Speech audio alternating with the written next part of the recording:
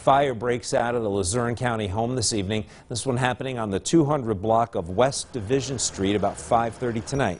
The Wilkes-Barre Fire Department responded to a call of a fire on the second floor of the two-story house. When crews arrived, a bedroom was in flames. Now, the damage was mostly in that bedroom, but the first floor did suffer water damage. No one was hurt. Investigators say they're working to identify the cause of that fire.